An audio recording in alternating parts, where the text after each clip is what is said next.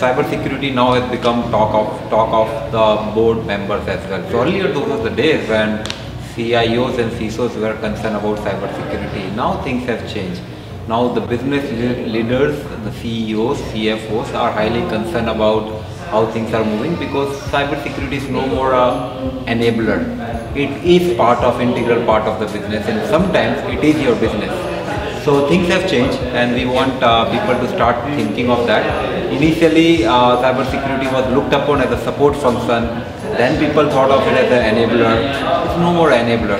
It's like uh, if you lose your data, you lose your credibility and there is one report which clearly says that any organization who had a data breach their stock price went drastically down over the period of next two years. So who, which organization, which board member or CEO can afford to have a breach happening in their organization? Most of the difficult one, of course, uh, when customer invite us to investigate already breached happen. When which is happen and they want to do they want us to do the forensics. They want to us to find out who did that breach. Sometimes very difficult. Though we can identify whether there is a breach existing in the network or no we can do a containment we can do a, a remediation we can do a complete cleanup.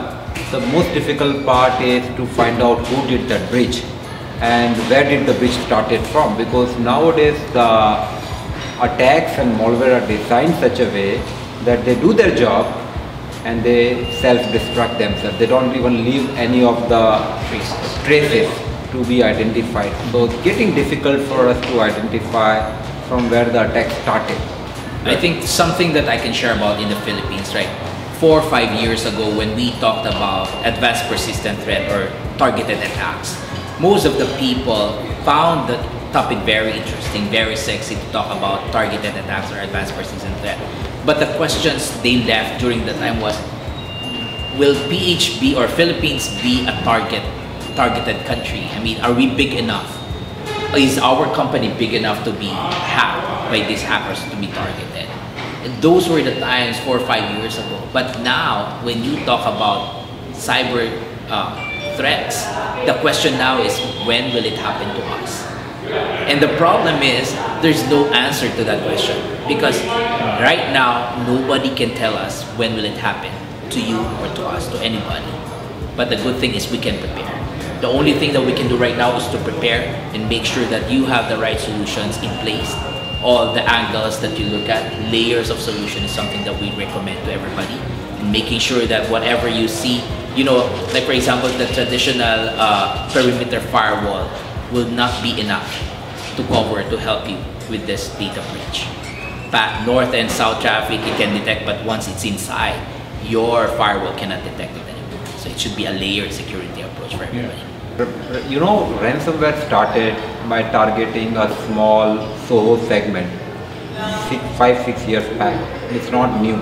Ransomware was there even 2012, 2011, but they started identifying the individual people or the SMB or very small organ, not even SMB, very small organization who were least worried about security, who had the least awareness about security and they never used to care about what kind of downloads and URL they are clicking. That's how they started it took a while and that started pumping money for them. So they started gathering money, they become financial strong, uh, financially strong and then it become a big ecosystem for people to start launching a uh, customized and organized ransomware attacks on large organizations. So those things which started very small, people just ignored it thinking this only for small users and not a big money going. They were asking for $1,000, $2,000 of ransomware they became big and they started attacking an enterprise. The reason why it started happening was they, they were doing a very small thing. They were identifying the most vulnerable uh, users in the organization after doing a massive social engineering understanding what he does, his demographic and geographics and interest area and used to send us spear phishing uh, mails or targeted mails which has, uh, which has some downloads available. The moment the person clicks, the download uh, get executed and uh, ransomware was executed.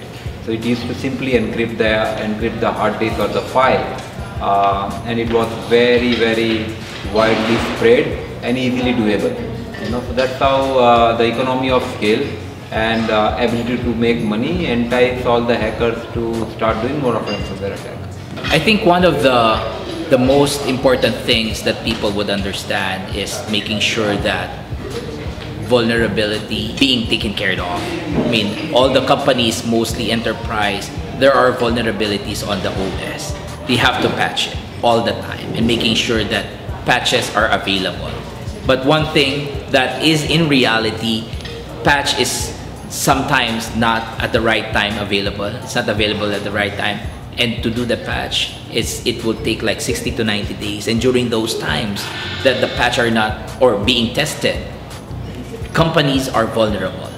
Now, Trend Micro has the virtual patching that can provide temporary protection by using the IPS rule. So you provide that IPS rule, hackers would see that vulnerability as nothing.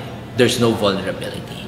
And that gives time the, to the customers for them to patch the OS properly at the right time. The biggest problem uh, today most of the organizations are facing is their business team is moving too fast, adopting technologies, and those technologies being used by the by the hackers as well. So at Trend Micro, we believe our job are in two phases. Number one, of course, we go back to customers and partners and educate them about how they should be preventing those kind of attacks how they should have the de deployment done for the detection, how should have the deployment of technology done for the for the prevention and remediation as well.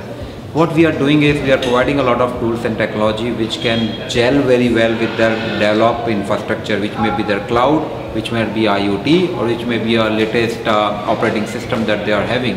And second thing, we have developed a tool and technology which combined with services, we can give a good managed detection and response capability to customer by using MDR, which we can partner with some of the SOC provider uh, locally in our country, we can give them proactive alert in terms of what is going wrong and what will happen if they don't patch or they don't take an action in next couple of months.